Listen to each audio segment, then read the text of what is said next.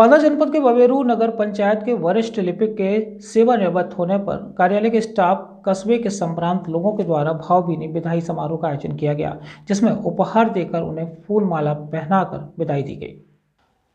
बांदा जनपद के बबेरू कस्बे के नगर पंचायत कार्यालय में वरिष्ठ लिपिक विजय पाल सिंह के सेवानिवृत्त होने पर नगर पंचायत कार्यालय में विदाई समारोह का आयोजन किया गया, जिसमें कार्यालय का स्टाफ, नगर पंचायत अध्यक्ष विजय पाल सिंह, बबेरू क्षेत्रीय विधायक चंद्रपाल कुशवाहा, स्टाफ, नगर पंचायत सभासद और कस्बे के संभ्रांत लोगों के द्वारा नम आँखों के साथ विदाई दी गई, जिसमें स्टाफ के लोगों के द्वारा फूल माला पहनाकर उपहार देकर गाजे बाजे के साथ विदाई समारोह संपन्न हुआ।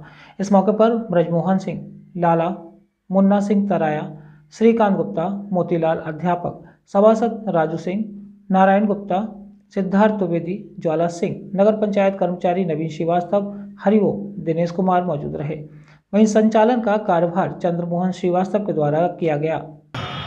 आज हमारे नगर पंचायत में अड़तीस वर्ष से सेवारत लिपिक विजय पाल सिंह, उनका सेवानिवृत्त होने के बाद विदाई समारोह का कार्यक्रम आयोजित था, जो स्टाफ के लोगों ने आयोजित किया था।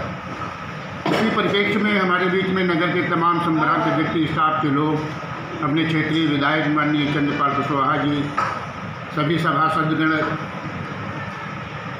की उपस्थिति के पश्चात धूमधाम से उनकी नगर पंचायत से विदाई की गई और ईश्वर से प्रार्थना किया।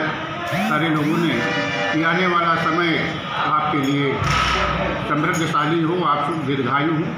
बांदा से जीतू श्रीवास की रिपोर्ट।